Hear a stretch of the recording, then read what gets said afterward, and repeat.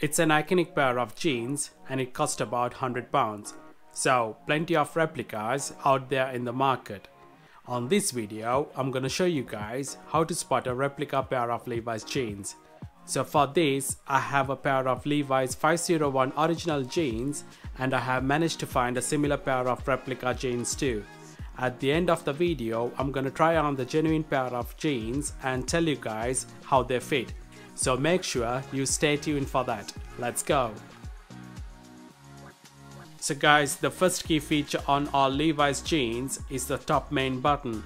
So check the button details and the marks. Top button always should be a well finished copper or silver button that doesn't fade over time. As you can see on the original Levi's jeans, button is smaller than the fake one. Also, the embossed letterings are more clearer and neat on the real jeans comparing to the other. And also, on the genuine jeans, there is a 4-digit number stamped into the back of the top button.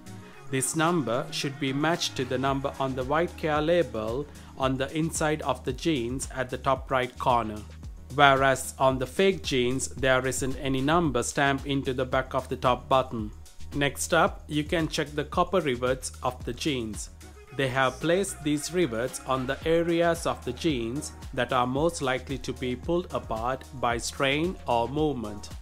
The copper rivets on the real jeans look so solid and heavy duty. They are rust proofed, permanent fasteners. Whereas the rivets on the fake jeans look weak and cheap. They do not have that real copper color too. I do not think they would last long. Also, the engravings on the back of the copper rivets on the real Levi's jeans are neat and has a good finish. However, on the fake jeans, engravings back of the copper rivets are not neat. You can clearly see they just tried to copy, there is no quality or attention to detail. These genuine Levi's 501 original jeans come with button fly fastening and these buttons are silver, should be similar to the main top button. On the real Levi's jean buttons look solid and they have a more depth comparing to the fake Levi's jeans buttons. Also, lettering embossed are very neat and tidy, more clearer comparing to the fake jean buttons. Whereas on the fake jean buttons, I don't think they are real silver. They are shiny and light, not so heavy as the real jean buttons. I think they are just cheap metal buttons. Also, the buttonholes on the fake jeans are quite messy and loose, whereas on the genuine Levi's jeans buttonholes are neat and nicely stitched. The stitchings throughout the real Levi's jeans are high of quality. Even the threading that they use has a high strength and a high durability. Also, they have used chain stitches on the areas that gets pulled apart by movements to give a good strength to the jeans. Whereas the fake Levi's jeans throughout all I noticed is loose stitchings. They don't look durable, they just imitate the stitchings pattern of the real, but no quality or a good finish to the stitchings. The red tab on the genuine Levi's jeans is perfectly cut and stitched onto the pocket of the jeans. Also, Levi's perfectly printed on the red tab along with the registered symbol sign. However, keep in mind that some genuine Levi's jeans I have seen that have only an R mentioned on the red tab. These also considered as authentic.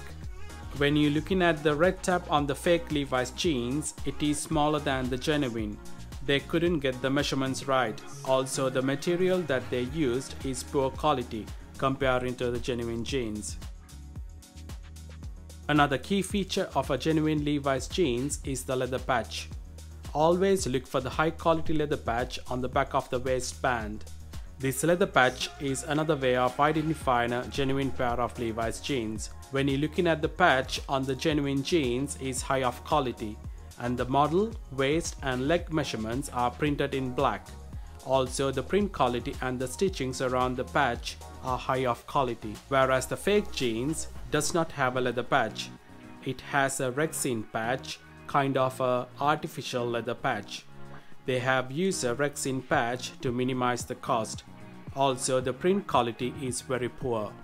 The print quality and the material used for the inner thigh label just below the pocket is very high quality on the genuine Levi's jeans. On the fake jeans, all they have done is to copy the label but couldn't manage the quality at all. Also, on the genuine jeans, the print quality of the back right pocket Levi's poster patch is high of quality, printed nicely and clearer.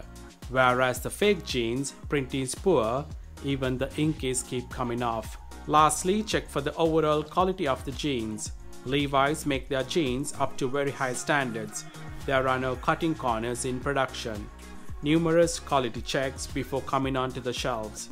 If there are any loose stitchings or any faulty metal works, chances are they are fake. The waist measures 17.5 inches when laid flat. They just hug my waist with having a bit of space to put fingertips in. For me, they are a bit loose without a belt. It measures 12.5 inches from crotch seam to the outer seam, having looser on my legs but not too loose which is the right size. These jeans sits at my waist with having a front rise of 12 inches. They are regular fit through the seat and thigh and super comfortable with having a relaxed straight leg. The hem measurement comes in at 8.25 inches when laid flat and the inseam is 32 inches but they are too long for me. So guys, I hope you find all this information helpful and useful. If you ever to buy a pair of Levi's jeans, you will know what to look out for. As always, thanks for watching. I hope you enjoy the video. My question for you today is, have you ever bought a pair of replica jeans thinking it was real? Comment down below, hit that like button and make sure to subscribe for more videos. See you next time.